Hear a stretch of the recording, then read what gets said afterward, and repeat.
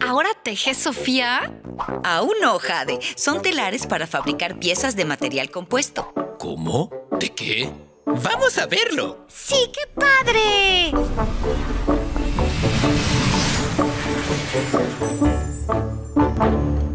Pero, ¿qué son los materiales compuestos? Un compuesto es un material hecho de varios componentes. Una matriz como la resina y un refuerzo como la fibra de vidrio o de carbono. Ok, como mi raqueta de tenis y mi kayak. Sí, y así como tu raqueta, los materiales compuestos se usan como una alternativa fuerte y ligera en la aviación. Safran fabrica partes de las góndolas con fibra de carbono, respaldos de asientos e incluso interiores de cabina con fibra de vidrio. Y esto es una gali. ¿Cómo? ¿Una qué? ¡Una gali! La cocina donde se prepara la comida a bordo. Ah, ok.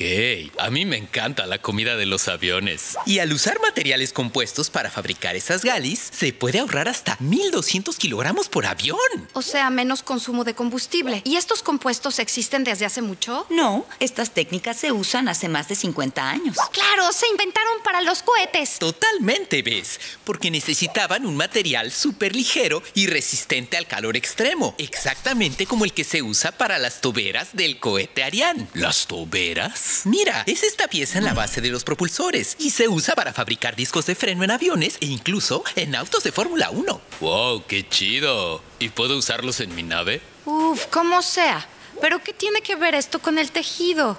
Es una innovación de Safran. Los compuestos tejidos en 3D. Eres una crack, ¿ves? Mira, las fibras de carbono, en vez de apilarse una sobre otra, se tejen en tres dimensiones. Luego se coloca la preforma tejida en un molde, se inyecta resina caliente para endurecerla y se obtiene una pieza ultra ligera y resistente. Gracias a este proceso, Safran fabrica las aspas de la turbina y la góndola del motor LIP, reduciendo su peso en más de 500 kilos. Escuché que en 2024 Safran produjo más de 250 mil aspas, Mm, pero todo ese proceso genera muchos residuos, ¿no?